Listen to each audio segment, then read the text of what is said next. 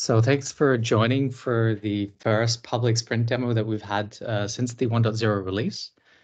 Um, so we want to show you kind of what we've been up to since there.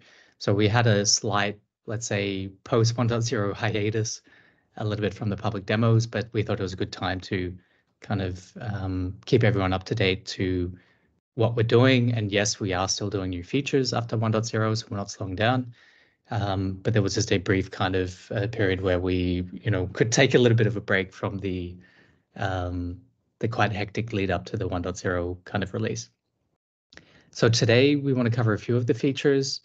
Um, so the team will be demoing uh, stuff like the changes in software management uh, to support the Cumulocity Advanced Software Management um, APIs, um, minor improvements to the uploading of files. So that's for like troubleshooting configuration, then we have a draft version of running thin edge as a Helm chart, so in Kubernetes. So Alvin will be presenting that. Um, then going into more um, an example of firmware updates using RAUC.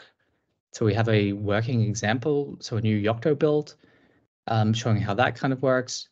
Uh, and then looking at a few kind of community-based things to make it easier to run MTLS locally um, so you can have secure communication on your local broker and local HTTPS um, calls. And also looking at how we've kind of improved or like added additional build targets. Um, so including like RISC-V and ARM or ARML, um, that we can also run Thin Edge on more um, environments or CPU architectures now. And I'll give a quick summary at the end, just a bit of sneak peek of some upcoming features because uh, there'll be some kind of interesting ones uh, to go on.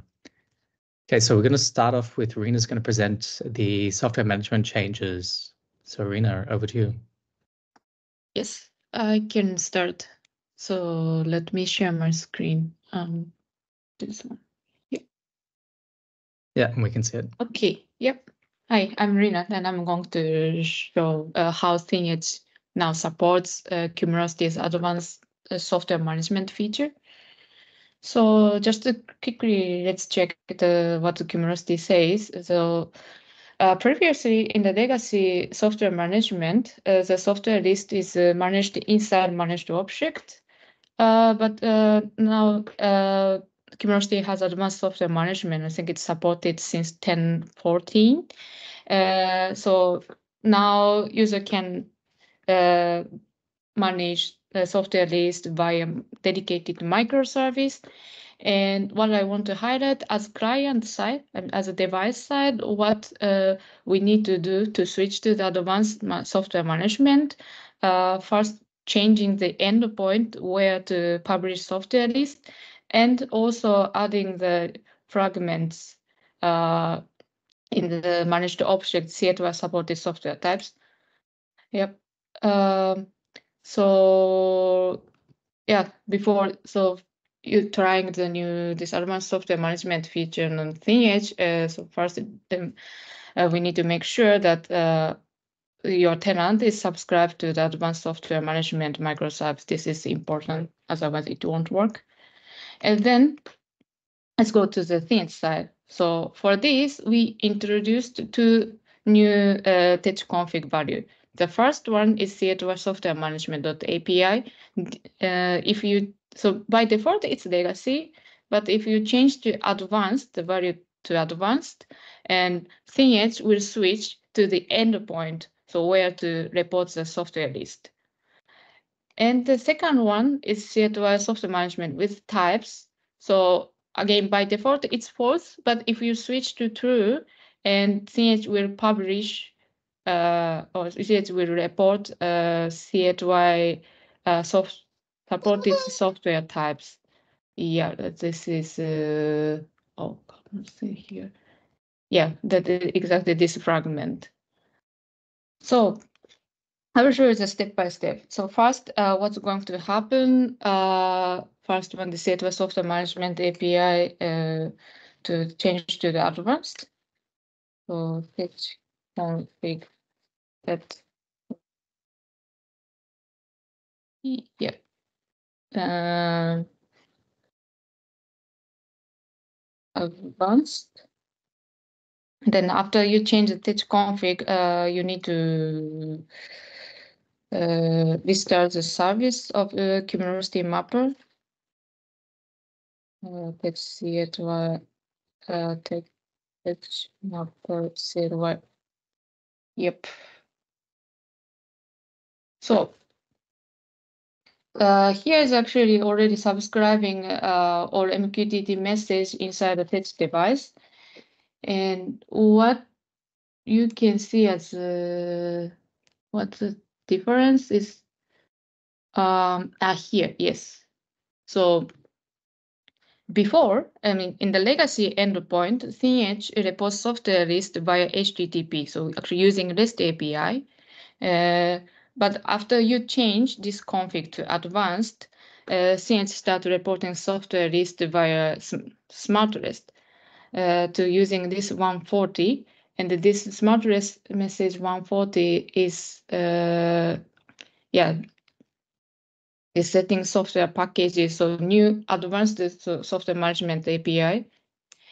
And now the my case, so since software list is not so long, just using 140. But if so your software list is very long, so you know there's a, a limit in the Cumulocity side, uh, so how much uh, the size the size of payload limit. Uh, so if your software is, is too big, uh, we append the list using 141. Also here, it uh, works like a put. Uh, yeah, so then the Cumulus, this side, I mean, looks same. So the list is completely um, yeah, reported. And if you check what is reported here. So yes, and actually chart. Okay. Yeah, since we didn't uh, uh, add the fragment of c8y supported software types, so now just we switch the endpoint, that's it. Um, then now the time to change the config, the second one. This uh we let's let's this c8y um, software management with types.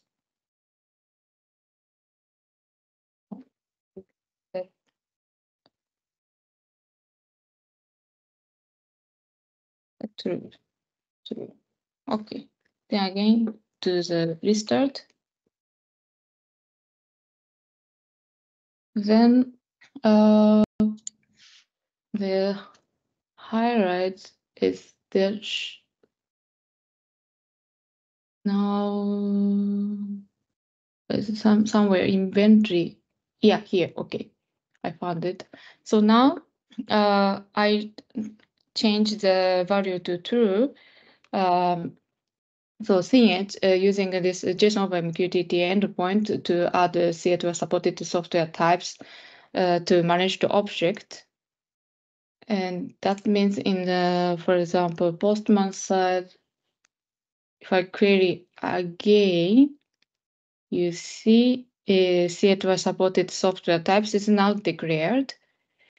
And and now the new child addition is added. This is a um, new software list, advanced software list one. Yep. I think that's it that I can show you. Um, is there any question? Yeah, so maybe just to contextualize that yep. and why do we do this? Um, so basically the advantage is, oh, I think the original, I would say problem, but like limitation was if you put the software list, a generally long list of data. If you put that on the manage object, the manage or the device manager object is always passed around in different kind of contexts, especially for in the the backend for you know establishing the MQTT connection. And so it made that device very, very heavy um, because it would have like a massive chunk of, you know, a thousand kind of software packages installed. Um, and so with the advanced software management, like the microservice, which abstracts the data model now of the software packages, um, by putting in a child addition, you're kind of reducing the size of the devices. Um, so it makes it a little bit easier to kind of like work with. And you can also do a little bit easier changes to that model. And you let the microservice then do, you know, add one particular software item. And then for us, uh, for side, it's also good because we can now update the list using MQTT, which then we get like message buffering out of the box and all of these kinds of nice things. Um, and then for the UI, it also means that you can actually do a software type filter based on the types that the device offers. If you don't specify that, the UI doesn't really know what it should filter, you know, what options should it present to the user. So it actually shows all software types, not the software types which are installed, everything in the software repository. Yeah, so that list then shows um, it's kind of based on what information you publish to uh, the backend. So it's making sure that ThinEdge is also a good kind of Cumulocity citizen. Um, so we're making sure that we also support like the newer features, um, but we didn't want to enable it by default just yet because if people are reliant on the data model for doing whatever inventory manage object queries that they have, then you have to kind of know that you query for the software via a different manage object now, um, which might be a change in your kind of process. Um, but yeah, usually you would bake this stuff into your image and going, yes, but you want to use the new model done.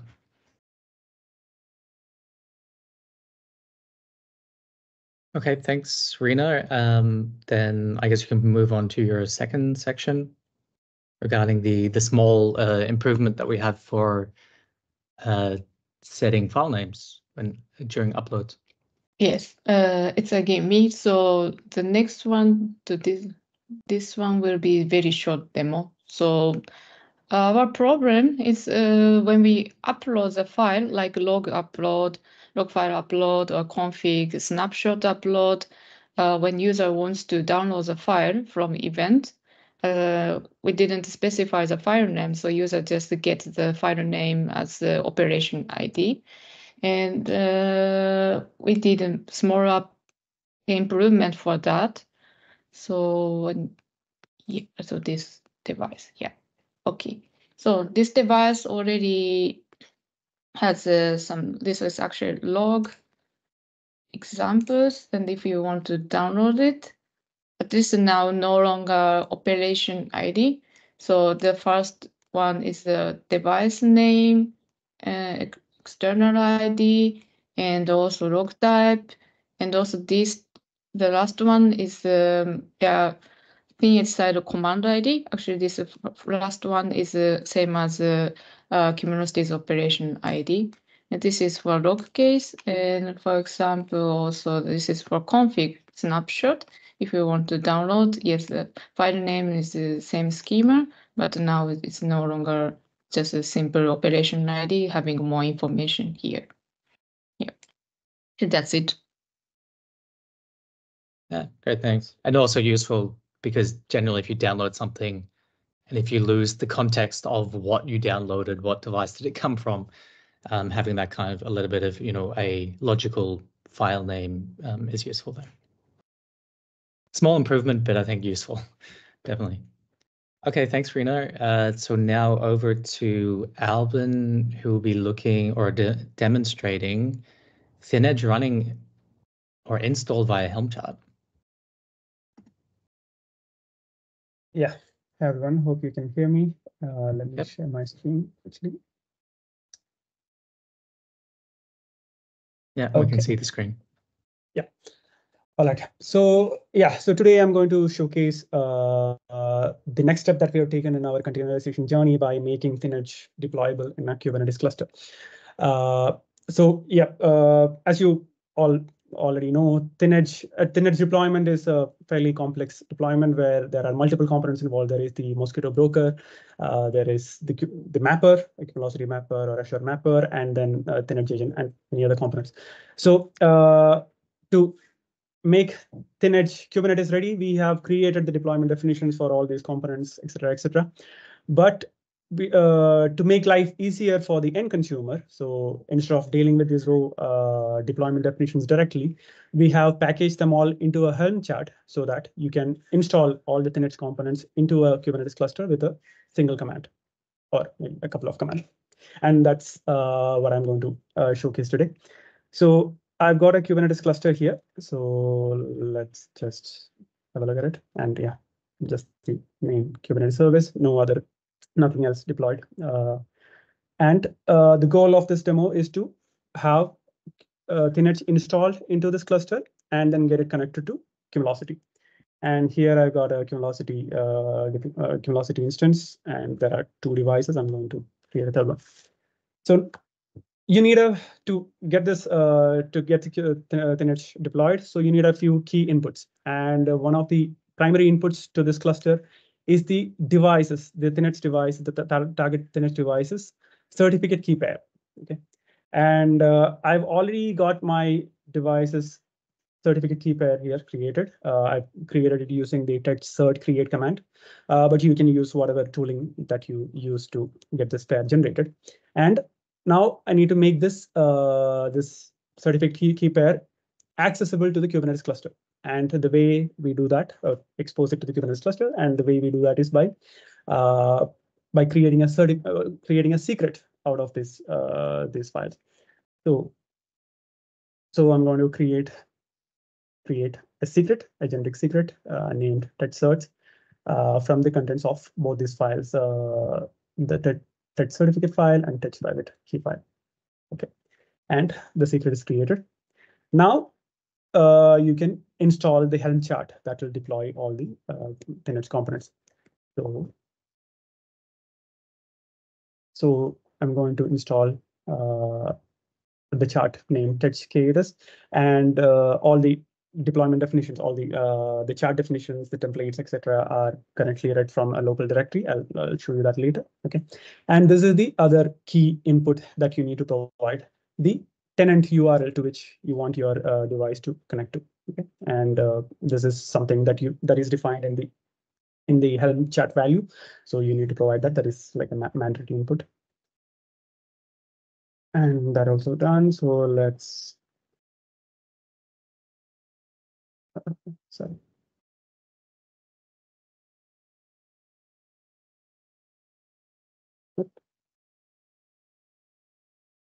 Ah, sorry.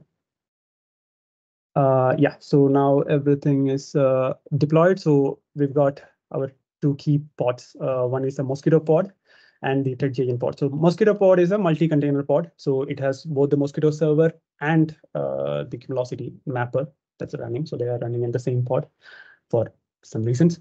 And uh, and then the ThinEdge agent as well. And the agent, the Mosquitto server, so the Mosquitto broker is actually exposed as a service so that uh, the other components in the cluster can access the Mosquitto so that they can push telemetry or uh, receive other commands and stuff like that. And there is one more service, which is the file transfer service hosted by the uh, ThinEdge agent. Okay, so now we've got all this set up. And now if you go and check velocity, you'll see that text creator. So this was the ID uh, from the certificate that we had created.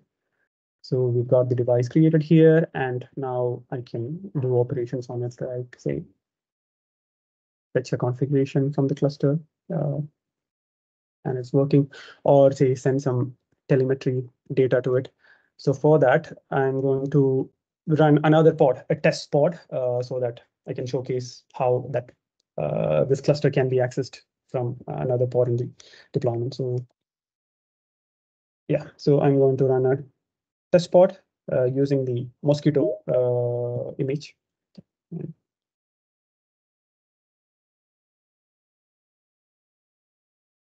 Okay, so we've got that pod running and uh, I'm going to use the mosquitto command to access the cluster. So I'm going to send some telemetry data, mosquitto pub hyphen h. So you need to specify where to access the mosquitto server. So that is the service endpoint for that uh, broker. So the default namespace service cluster local. I hope I have typed that right. and then the topic. So I'm going to send some temperature measurement. So target to the main device, the Thinedge device. Slash temperature measurement. Uh, it will be all right. Okay, so I'm going to publish this data. I think is Uh, it SVC instead of service? Ah, sorry, sorry. Yeah, yeah. So that- Okay, publish that data and now if you back to measurements, you will see that the measurement is here, the 15. Okay, so this is uh, this is basically uh, the short demo that I uh, wanted to show. And uh, for your reference, all of this, so the things that I showcase, like the, the Helm chart definition, everything is currently available in our repository, in our main repository under this Kubernetes directly at the root level. Um, so it's currently, it is a work in progress. So this is more like an initial draft version. And uh, yeah, there could be some rough edges, uh, but I uh, encourage you to try it out. And if any additional customization, etc. required, yeah, uh, raise issues or reach out to us via our Discord channel. And yeah, once we feel that, okay, this is fairly production ready, then yeah, we can consider uh, uploading this Helm chart, making this Helm chart available via Artifacts Hub or any other Helm chart repository as well. Okay, so here we've got uh, we've got the README and uh, all the other key definitions like the Helm chart definitions and all the uh, deployment definition templates, etc., etc. So uh, you can refer to those. So yeah, that's all I had to showcase. So, you're- so yeah, we are seeking your contributions and making this uh, better. So yeah, please Yeah. try it out and Exactly, and I Let's I do think that's the key point to you know reiterate. Um, we really because you know we're we're self-professed non um, Kubernetes experts here, um, so that's where we're really relying on you know people with Kubernetes experience to you know maybe how do you make the Helm chart a little bit more configurable for different aspects there. Um, so we're definitely open to suggestions and contributions. Um, so please try it out, and um, if something doesn't work how it how you think it should, you know, feel free to open up a PR for it. Um, we're happy to collaborate on this. Um, yeah, and once that's done, then we'll publish the artifact so you know you don't have to clone the repository and you can install it from a you know a Helm chart repository available from probably Cloudsmith in the end. Um, so please um, check it out and give us feedback. yeah, so that's all I had to show. And any questions or feedback? That's great. Um, I just have a question. I know that the SIG Edge is also packaging Thin Edge. So is that using the same um, YAML configurations or is it totally different? So I I, know I think they- they- it's. Oh yeah, sorry. Yeah, go on. um, Go on. Yeah, I think it's currently different at the moment. Um, so this is still quite new. Um, so they we did kind of use a lot of their configuration to base our Kubernetes uh, deployment on. Um, so, but I, I think it kind of depends on how you want to deploy it and different kind of constructs. And do you want to include something else or have a different kind of um, pod structure? Do you want to have all as one pod and multi containers in that same pod? Um, so it really depends a, a little bit on your use case there. Um, but yes, I think that would be the goal in the end is using the public Helm chart and then pulling that in and then deploying with a simple step. But yeah, I don't think we're quite there just yet. And also with the deployment and about having a multi-container pod for the Mosquitto and Mapper, um, this is kind of due to the Mosquitto being the bridge at the moment. And there's a bit of a, let's say, cyclic dependency, um, which is a little bit tricky to configure. Um, however, we're kind of looking into migrating from the Mosquitto Bridge functionality to push that into the mapper, um, which would enable us to decouple the two components. Because at the moment they're very highly coupled to each other. And if you have to, you know, update your mapping rules for whatever reason, then you have to kind of restart Mosquitto as well as the mapper, and then it gets a little bit tricky when you try to coordinate that. Um, yeah, and have those dependencies in between those two containers. So that will definitely change in the near future. And maybe another question, um, which customers do you know are interested in deploying Synapse on Kubernetes? I had a discussion with ABB very long time back. Not sure if there are any, any others. Yeah, there's a US customer um, at the moment, which they they created their own Helm chart because we didn't have one prior to that. Um, so I think that would that would also be like a really great contributor. If you know if ThinEdge hasn't done something yet, we're open to contributions to you know say, hey, I've done a Helm chart. If you give that to us, and then we can kind of clean it up or make it generic. I mean, we're definitely um, interested in those kinds of cases. Uh, but in this case, we we created the Helm chart on our own. But yeah, there's definitely a few customers. Um, and Kubernetes seems to be a little bit more interesting, or when we say Kubernetes, we're talking about single cluster deployments mostly, so using K3S. Um, that's becoming a little bit more common on edge or thin edge kind of deployments. Um, because it does have some of the advantages, you know, with kind of like, let's say, high availability, um, you know, depending on hardware, obviously, uh, but it has some kind of nice out of the box components and better update mechanisms rather than native containers or like, you know, Docker containers or Podman or something. Because you have that orchestrator on top, which can do, you know, container self updates and stuff like that. Um, so I think it'll definitely become more and more prevalent. Thanks. Okay, great. Thanks, Alvin. Then I'll take over the sharing because I think I'm doing the last little bits. Sorry, just one one one quick question for this one. Yeah, sure. Uh, so like, is this meant to be an example? Is it part of the like official supported stuff that we're doing about ThinEdge? Uh, as as far as there's officially supported stuff, but uh, are you going to keep it maintained, etc.? Yeah, that's definitely the idea. So we kind of want feedback from real Kubernetes users to going, yes, we because we want some validation first before we go, hey, here's the you know the the container image, uh, sorry, the Helm chart, which is published, you know, um, in a central repository. Um, so we want that feedback first, and we might wait until we publish it, um, wait for the decoupling of the mosquitto bridge functionality from the mapper, um, because that would simplify a lot more things and make it um, the bootstrapping process a little bit easier and also a little bit cleaner um, from a design perspective. But it, you know, we'd be looking to do that in the next three months, kind of thing. But yes, we are looking to make that as a exactly like a Debian packages or RPM or APK packages, have it as a Helm chart. Because we already have public Docker images, so they're already public. Um, so writing the Helm chart is actually quite easy because you're pulling in, you know, the official image anyway. Mm -hmm. And that's really the part that you really have to maintain. Like the Helm chart, there's not too many kind of moving pieces there, as you know, once you have your basic structure. Sure, thanks. Okay, cool. Um, so looking at time, moving on to the next uh, section where we're talking about firmware updates with RAUC. So we already have examples uh, using RugPi um, to do firmware updates on Raspberry Pis, uh, and also an example using Mender, the OSS variant. And so we wanted to then also support other kind of update mechanisms. So using RAUC, um, so what I'll do is I'll trigger an update because and then kind of explain while um, it's kind of doing it because it'll take a few minutes. Um, so here I have a Raspberry Pi 4 device.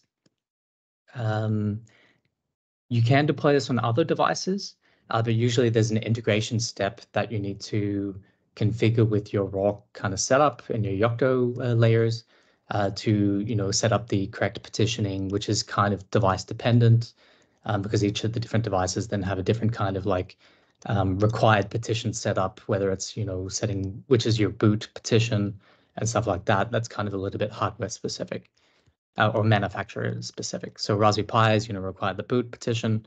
Um, so you could still use the Yocto layers to then build your own kind of integration with the different devices. But for our example, so I've deployed the base image. Uh, so I flashed my device and that has, you know, it's a Raspberry Pi 4 and we'll have the firmware version. So it's a RAUC enabled image and has this version. So I can do a firmware update because I've updated the new RAUC bundle. So I'm going to switch to this version. And so it's already started. And if you go to the events page, um, just for a little bit of traceability so you can see, hey, it's actually doing something. Um, the, the workflow's then doing these transitions. So while that's doing that, let's do that. Um, so it's currently at the, so it's triggered, so they're executing. It's saying we're currently on partition A, we want to switch to partition B. So it's doing, you know, A-B updates because that can be done in a reliable manner, exactly like RugPi and then the Mender stuff. We then trigger the install using, so we translated the URL that we were given from the cloud to a local URL, uh, which is using the Cumulocity proxy, which makes it a really nice integration then from the RAUC level, because the RAUC doesn't need to know anything about, you know, what authentication do I need from this URL? And because it's running on the same device, um, we can do that without authentication because it's kind of a trusted source uh, running on the device. And so it's currently installing. So this will take a few minutes. So how I built or how we built this image. Um, so we have a MetaTedge project, um, which can be used to build different Yocto images. So Yocto is just a way to build a custom um, operating system, uh, including the components that you want to include. So with our examples, um, so we have a Tedge RAUC here, where we basically define what layers that we want to include. So the layers are basically saying what kind of components do I want to include. And so we have a Tedge layer where then you specify I want to install Tedge and some common components. But because I want this image to be RAUC enabled, so I can do firmware updates using RAUC, um, we also specify the RAUC layer to say, please install that. So I have an image which I can then kind of do um, over the air firmware updates. So all of this kind of references, so this is the, the project to build the image. This is kind of like the glue. So if you want to actually look at the code for, you know, how do you do a integration with RAUC in terms of, you know, what is the workflow there to, what do I do at the different steps to install, download, and whatever. Um, so you can check out the code in the MetaTedge Yocto layer. And we can go down to the recipes.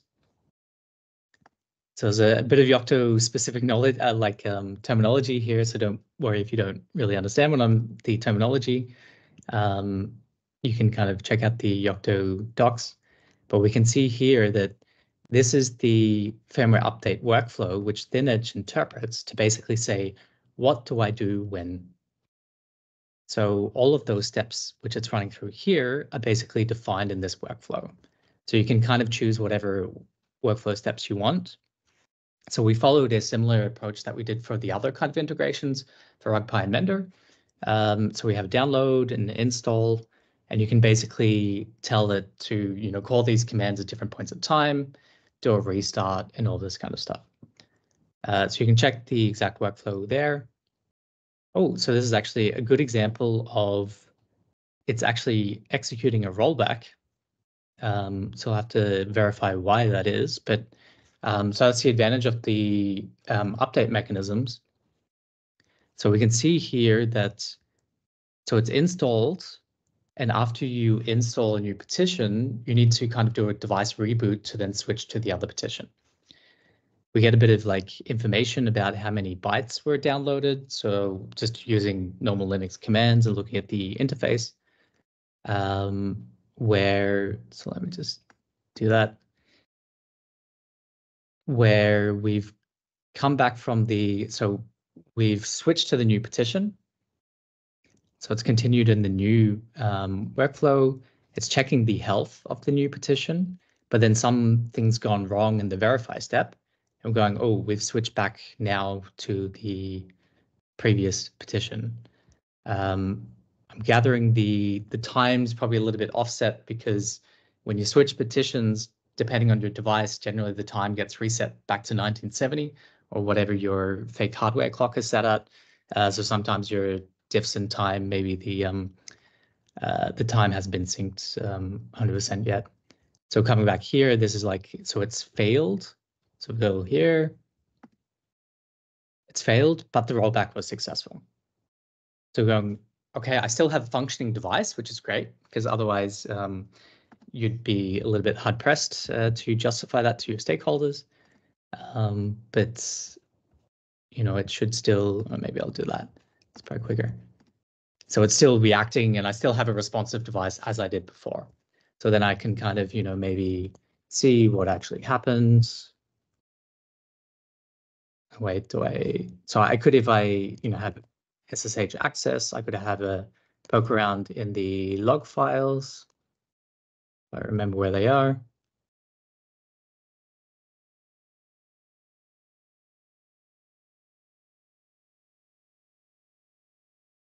So I believe it'll be the workflow log. And you can kind of have a, a look kind of what happened to then verify.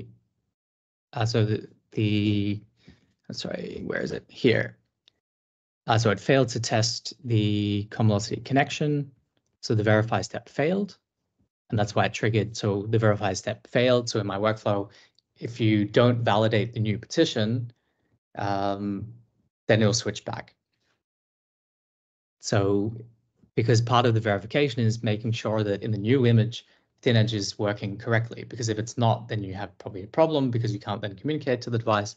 So that's failed. Um, yeah, due to Mosquitto probably not being up and functioning at that point in time. Um, so like an improvement would be, you know, maybe retry that step uh, and give Mosquitto a little bit more time before rolling back. But still a good example because you need to test all these rollback mechanisms to make sure they really work. Um, so that's actually a good example. And then we can still have a log which kind of shows us, you know, what happened. Um, so we can then assess, oh, okay, I need to be a little bit more lenient with my verify step, give it a little bit more time before I, you know, assert, yes, we need to do a rollback. Um, but that's definitely the advantage of having a um, a robust AB update. So I think I probably could have also retrieved the, oh no, I haven't configured the logs here. Um, yeah, so for that example, you can check out the Yocto log to look at the specifics. Um, so if you wanted to check out the verify step, you know, what does it actually do? You can check it's just doing a, so it's looking for all the mappers and making sure that they're all healthy. Uh, and then if not, fail and go back to the, the rollback step. So you can see here that we're just doing it once and that's it. So we're not even like doing a retry or anything. So it's a little bit naive. Um, but yeah, so you can build all that stuff today. Um, that doesn't need a new version of ThinEdge. So that works with the, the current version, which is 1.0.1. Uh, so it wasn't any kind of ThinEdge code changes uh, to support that. It's more about the integration of additional steps. Um, so that's all ready to use today. But just be aware you do need to have a bit of Yocto knowledge to build your own things. Uh, but if you just follow the um, ThinEdge documentation on how to build some Yocto stuff, uh, that should be enough to get you going. So if you, you can just do Yocto. So if you go to the next instructions, that's actually where we've updated the RAUC example. Yeah, so we put references to RAUC, and then you can use the MetaTedge project to actually build your thing.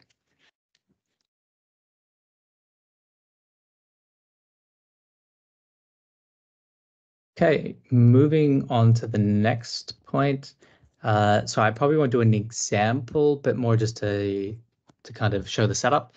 Uh, so we have additional tooling, so an extension of the Go CLI plugin, um, or we have a plugin um, for ThinEdge, which is to help the setup of your device to enable MTLS for your local communication. So what does that mean? So ThinEdge can run on a main device, but it also supports um, opening up that MQC broker running on the main device to other child devices. And so to when you open something up so it's available from another device in the network, you generally want to then also use certificate-based communication uh, to enable secure communication from the child device to the main device. So we've supported this since 1.0, I believe. Um, however, setting up the certificate or like even creating the certificates and making sure they live in the right areas is a little bit tricky if you don't have experience with this. Um, so what we've kind of extended is, so if we go to yeah, here. So as part of our, let me make that a little bit bigger. TEJ command. So I need to see my screen. So we have as part of like the, oh, sorry, I'm on the device at the moment. Part of the tedge command, so we have a bootstrapping command, which is then used to, or like primary, primarily used uh, to generate the device certificate using a local CA on your dev, uh, development machine. So instead of like going for a self-signed certificate, um, but we've extended this to also do the bootstrapping in terms of enabling MTLS on the main device and also connecting a child device to it. So if you look at the examples, um, we can bootstrap a device and then you can specify the MTLS flag to say, please enable MTLS on these devices. Um, and then if you want to bootstrap your child device, so the child device connects to the main device using certificates, it, all you need to run is this command where you specify what child device do you want to bootstrap. You want to use MTLS, and then it needs to know what device should I then be connecting to locally in the network. So what I've already done in the setup, so this is my main device, is Raspberry Pi 5, and I've actually connected a Raspberry Pi 02 as a child device, so running tedge agent and only tedge agent, that's actually, so this device here, um, this is then connected to the main device using certificates. So maybe I can just quickly show just so I'm, you know, you can believe me. So let's just connect locally. And the easiest way to kind of see this, I'm just going to do rust log trace and just do a tedge uh, MQTT sub.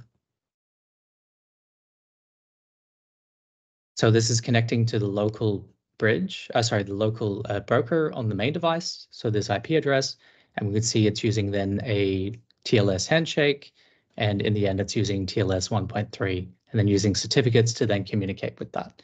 So we have secure encrypted communication then from the child device to the main device.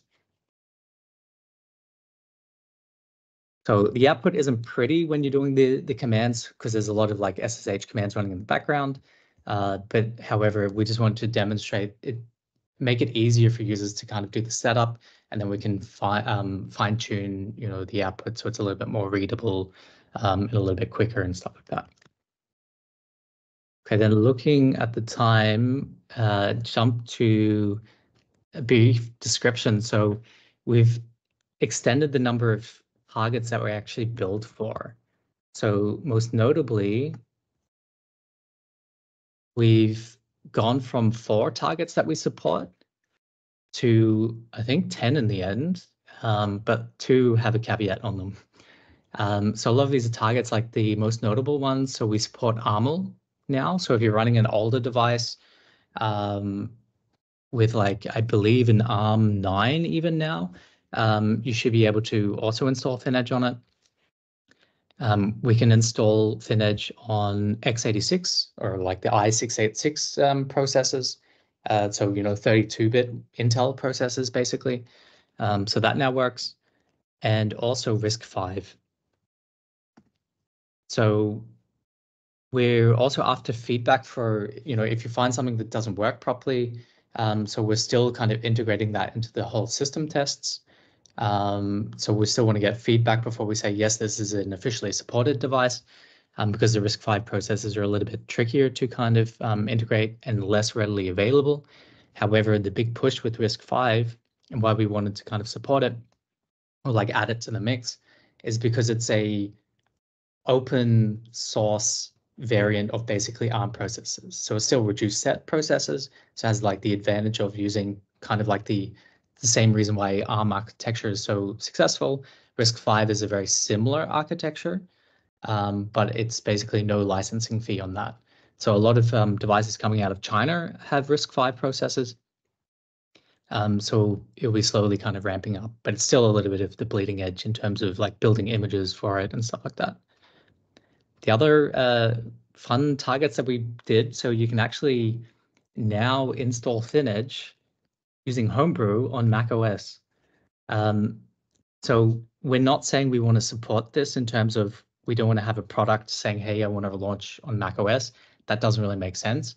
But where it's useful is if you're playing around with ThinEdge and kind of want to run it locally to test out a few kind of functionality uh, on your own Mac machine, like for development purposes, then it's quite e um, useful to kind of easily pull in. And that's what I have set up here. So this is locally on my Mac. I can even do, oops, if I write the correct command, I have a local MQ, uh, Mosquitto broker running, and then I can connect to that broker using the TEDGE CLI commands. I can even start the agent here on the left-hand side.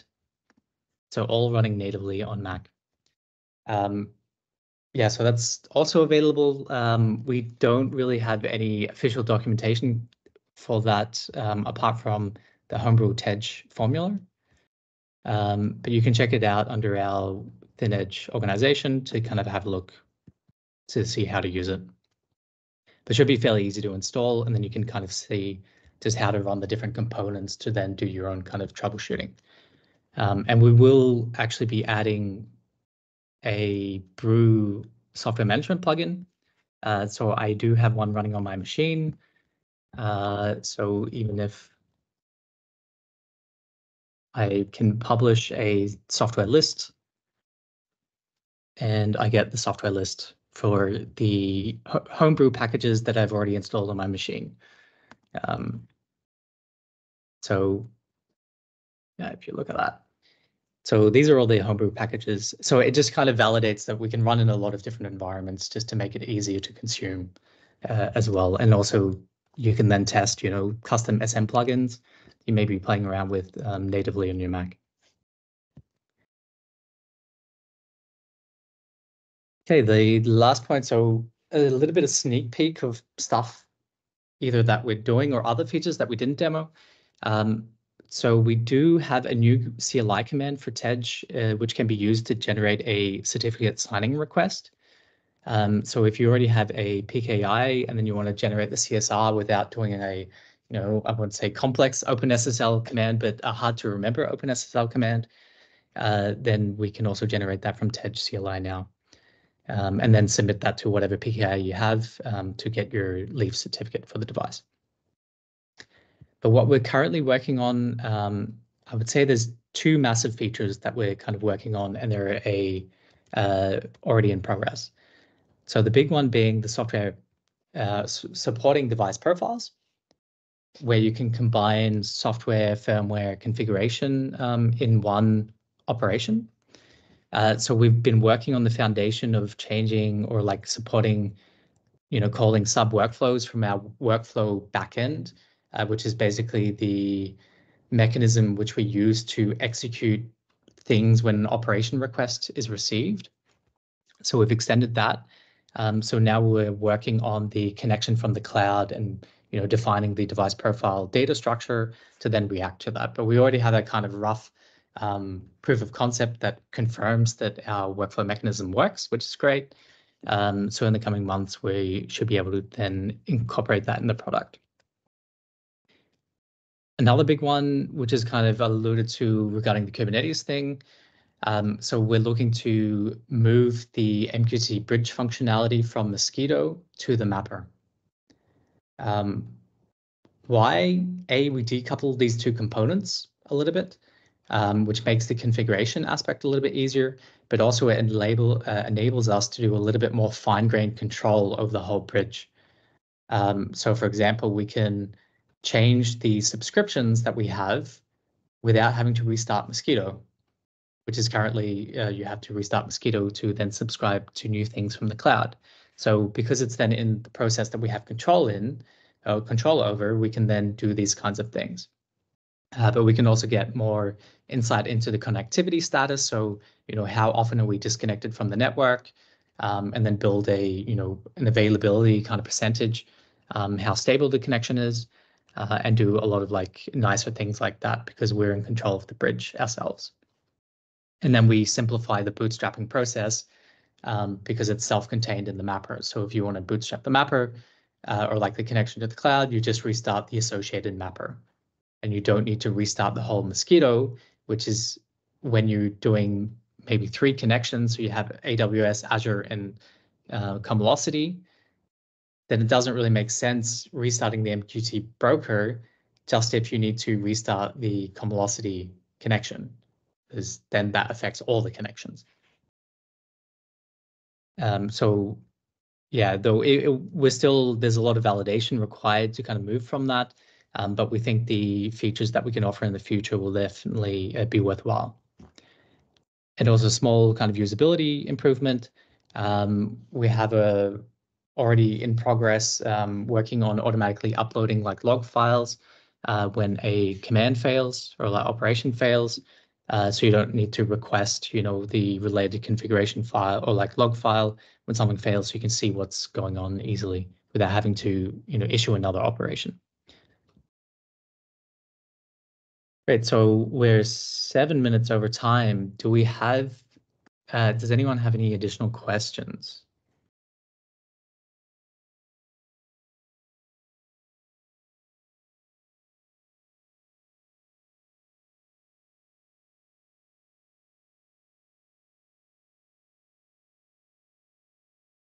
So if not, then thanks for attending. And as always, uh, you can reach out to us on Discord, um, create issues on GitHub, um, and then to discuss new features or, or general questions.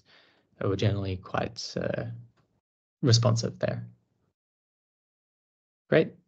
Then thanks for attending and see you next time.